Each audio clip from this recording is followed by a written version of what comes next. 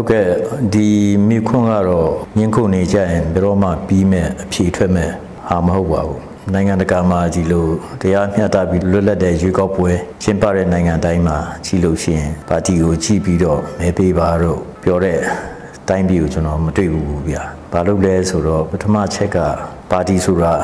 ရှိပြီးတော့လူရှိလာတာမဟုတ်လူတွေရှိပြီးမှစုစည်းပြီးတော့မူဝါဒတူညီတဲ့လူတွေစုစည်းပြီးတော့ policy တွေချပြီးတော့သူတို့အဲ့ဒီ policy တွေဘယ်လိုအကောင့်ထဲပေါ်မယ်ဆိုပြီးတော့ပါတီကိုထောင်ကြတာအဲ့ဒီမူဝါဒတူညီတဲ့လူတွေအဲ့ဒီမူဝါဒကိုဘယ်လိုအကောင့်ထဲပေါ်မဲ့လူတွေအကြောင်းကိုမသိပဲနဲ့ပါတီကိုကြည့်ပြီးတော့မဲပေးပါဆိုတဲ့ဟာကတော့တော်တော်ထူးဆန်းတဲ့မဲဆွဲမှုတစ်မျိုးပေါ့နော်ဟာအဲ့လိုပဲကျွန်တော်တော့ပြောချင်ပါတယ်ဥပမာဆိုပါဆိုဟိုတခုတွေလူဆိုးတွေကြပိုးတွေအကုန်လုံးပေါင်းပြီးတော့သူတို့ပါတီက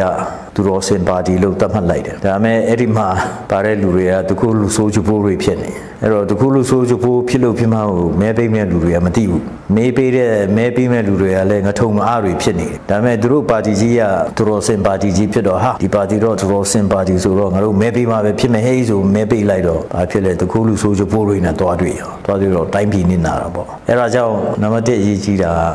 လူနဲ့မူနဲ့အဲ့ဒါကိုကြည့်ဖို့လိုတယ်ဥပမာဆိုပါဆိုအမေရိကန်မှာ Republican နဲ့ Democrat နဲ့အကြီးဆုံးပါတီနှစ်ခုရှိတယ် အဲ့တော့ Democrat Party ရဲ့ policy နဲ့ Republican Party ရဲ့ policy ကျန်းမာရေးဆိုင်ရာ policy စီးပွားရေးဆိုင်ရာ policy အလုပ်ကိုင်ခွင့်လန်းဆိုင်ရာ policy ဟိုတရားမဝင်ဝင်လာတဲ့အဲ့လူတွေနဲ့ပတ်သက်တဲ့ policy နိုင်ငံတကာဆက်ဆံရေးနဲ့ပတ်သက်တဲ့ policy American တပ်မတော်နဲ့ပတ်သက်တဲ့ policy စီးရေးဆိုင်ရာ policy ဒီဟာတွေကမတိမ်မရင်ရှိတယ်ဒါပေမဲ့အဲ့ဒီမတိမ်မရင်ရှိတဲ့ပါတီနှစ်ခုကြားဟာတွေကိုကြည့်ပြီးတော့တချို့က Republican လို့ကိုဟာကိုကြီးညာပြီးမဲ့တကယ်တော့မဲသွားပြီးတဲ့အချိန်မှာ Democrat တွေရဲ့ policy ကပိုပြီးတိကျတဲ့အတွက်အဲ့ဒီဘက်ကိုမဲပေးတဲ့လူတွေရှိတယ်အဲ့တော့လူကိုကြီးတယ်မှုကိုကြီးတယ်ပါတီကအဓိကမဟုတ်အဲ့လိုရှိတယ်ဥပမာဆိုပါဆိုနောက်ဆုံးပြောရရင်အခု Colin Powell ပေါ့အရင်တုန်းက Republican ကကာကွယ်ရေးဝန်ကြီးဖြစ်ခဲ့တဲ့လူသူက Donald Trump ကိုကြည့်ကြည့်ပြီးတော့ဒီလူဟာ ယုံကြည်လို့ကောင်းတဲ့လူမဟုတ်ဘူးသမရမဟုတ်အဲ့တော့ဒီတစ်ခါရွေးကောက်ပွဲကြရင်သူဂျိုးဘိုက်ဒန်ကိုသူမဲပေးမယ်ဆိုပြီးတော့ပွင့်ပွင့်လင်းပြောတာသူကတသက်လုံး Republican ဖြစ်လာတယ်အဲ့တော့ပါတီကိုသူမကြည့်ဘူးသူလူကိုပဲကြည့်တယ်အဲ့ဒါဟာကျွန်တော်ရဲ့အယူဆဖြစ်ပါတယ်ကျွန်တော်အမြင်လည်းဖြစ်ပါတယ်အဲ့တော့လူကိုကြည့်ဖို့လိုတယ်မူကိုကြည့်ဖို့လိုတယ်အဲ့ဒီမူကိုဘယ်လိုအကောင့်ထဲပေါ်မလဲဆိုတဲ့ဟာသူတို့ရဲ့မဟာဗျူဟာနီးဗျူဟာကိုလည်းကြည့်ဖို့လိုတယ်နောက်ပြီးတော့ပါတီကိုလည်းပြစ်ပယ်ထားဖို့တော့မလို့မဟုတ်ပါဘူး ကြည့်ဖို့လိုတယ်လို့ထင်ပါတယ်ကျွန်တော်ရဲ့သတိပုဂ္ဂလအမြင်ပြောရရင်တော့ကိုယ်တိုင်ဟိုအတီတကျ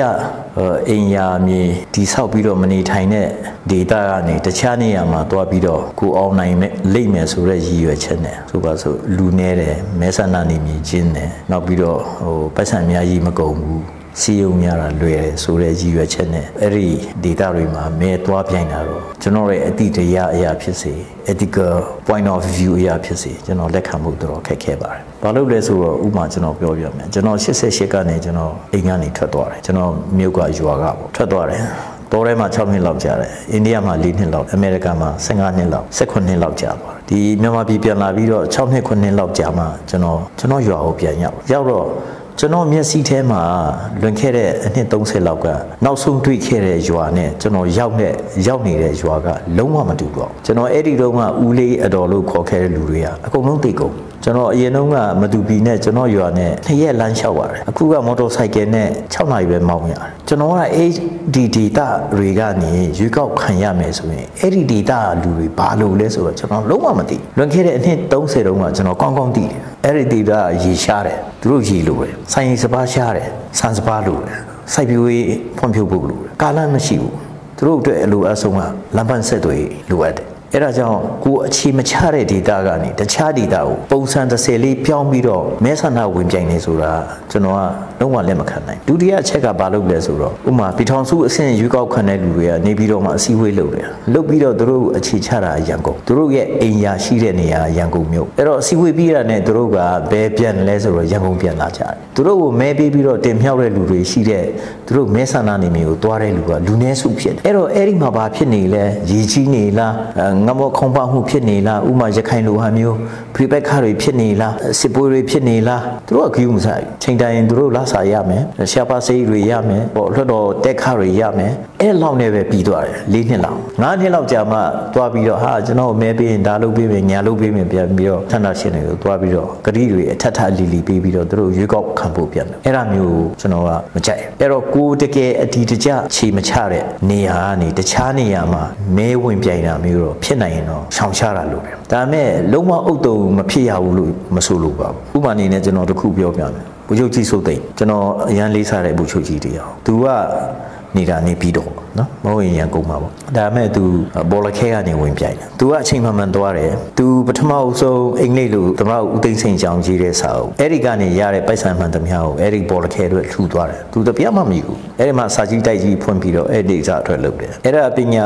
တင်လို့ကောင်းတဲ့စေရအောင်တဲ့ကလေးတွေယာနဲ့ချီပြီးတော့သူတို့ကိုစကိုင်းဖွံ့ဖြိုးရေးသိပ္ပံလာအဲ့ဒီအသက်တင်ကျောင်းလာအဲ့ဒီကျောင်းတွေမှာ ာ ပညာသင်ဆုရအောင်သူကလူခံပေးပြီးတော့ပို့တယ်နောက်ပြီးတော့အဲ့ဒီတာဖွံ့ဖြိုးရေးတွေအတွက်သူတနိုင်တနိုင်လောက်လုပ်တယ် မဆိုသူ့ဒေတာမဟုတ်ဒါပေမဲ့အဲ့ဒါမျိုးတွေကြတော့တစ်ထောင်မှတစ်ယောက်တစ်တောင်းမှတစ်ယောက်ရှိကောင်းရှိလိမ့်ဒါမဲ့အားလုံးမှမဟုတ်အဲ့တော့တစ်ခါလေကြာရင်တခြားလူမျိုးတော့ကျွန်တော်မဆိုလို့ပါဘူးကျွန်တော်တို့ချင်းနိုင်ငံရေးသမားတွေပြောတယ်ခမရတို့က remote control ကနေရန်ကုန်ကနေ remote control ကင်ပြီးတော့ခမရတို့ချင်းပြည်နယ်ကိုအုပ်ချုပ်နေတာကိုဘယ်လိုလုပ်ချင်းပြည်နယ်ကတိုးတက်မှလဲဟိုမှာမြေပြိုနေတယ်သူတို့မသိဘူးဟိုမှာလမ်းပြတ်နေတယ်သူတို့မသိဘူးဟိုမှာရေကြီးနေတယ်သူတို့မသိဘူးသူတို့ရဲ့ရန်ကုန်မှာသူတို့ရဲ့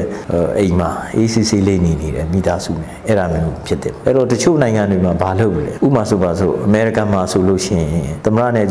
ဒုသမရလွဲလို့အထက်လွှတ်တော်အောက်လွှတ်တော်အမတ်တွေခမရဒေတာတစ်ခုနဲ့ဝင်ပြန်ရှင်အ ਨੇ ဆုံးအဲ့ဒီဒေတာမှာ6လနေရတယ် ဝိန်တီဆောက်ရတယ်6လဘာကြောင့်သူတို့တောင်းလဲဆိုတော့ residency status လို့ခေါ်တယ်အဲ့ဒီမှာအတီတကြနေထိုင်ပါတယ်ဆိုရအဲ့တော့6လအတွင်းမှာအဲ့ဒီမှာရှိတဲ့အခွင့်အရေးစပြီးတော့ဆောင်ရတော့တာအဲ့ဒါကြောင့် Hillary Clinton ကသူတို့အရင်တုန်းက Arkansas State မှာသူတို့အိမ်တွေဘာတွေယာတွေရှိပေမဲ့သူ New York ကနေအထက်လွှတ်တော်အမတ်ဝင်ပြိုင်ရှင်တဲ့အခါကျရင်သူတို့ New York မှာအိမ်တစ်လုံးဝယ်ပြီးတော့ဝင်ပြောင်းပြီးတော့အဲ့ဒါကနေအထက်လွှတ်တော်အမတ်ဝင်ပြိုင်ပြီးတော့သူနိုင်သွားတာဖြစ်တယ်အဲ့ဒါမျိုးတွေကို ကျွန်တော်တို့ကပြုပြင်ပြောင်းလဲဖို့လိုလိမ့်မယ်လို့ကျွန်တော်ကတော့ယူဆပါတယ် ဟိုနှစ်ခုပေါ့နော်ဆရာမြခွန်းကပထမကဗာမေးတဲ့လေဆိုတဲ့ဟာနဲ့ဒုတိယက right to recall အဲ့တော့ပထမမေးခွန်းကအမှန်ဆိုရင်ခုကျွန်တော်တိရတဲ့လောက်ပေါ့ပထမရွေးကောက်ပွဲ2010တုန်းလို့ကျွန်တော်မမှီလိုက်2015နဲ့ကြားဖြတ်တချို့တော့မှီတယ်ကျွန်တော်တို့ရဲ့ရွေးကောက်ခတ်မဲ့ကိုယ်စလေလောင်းတွေကသွားရင်သူတို့ကဆရာကြီးပေါ့သွားပြီးတော့ဟာခမရတို့အတွက်ကျွန်တော်ဒါလုပ်ပေးမယ်ညာလုပ်ပေးမယ်ပြောတယ်အမှန်ဆိုအဲ့ဒါပြောင်းပြန်ဖြစ်နေအမှန်ဆိုလူတယောက်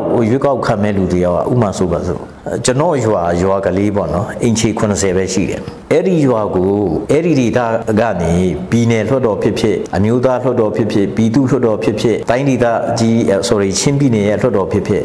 အရွေးခံမဲ့ကိုယ်စလဲတယောက်ရောက်တာနဲ့ပြည်သူတွေအဲ့ဒီဒေတာခံကနေမဲပေးမဲ့လူကျွန်တော်သာဖြစ်ခဲ့တော့ကျွန်တော်သူ့အရင်ဆုံးမေးမှာကျွန်တော်တို့ဒေတာအတွက်အရေးကြီးဆုံးသောအချက်ဆက်ချက်အရေးအကြီးဆုံးသောအချက်ကနေတိတ်အရေးမကြီးတဲ့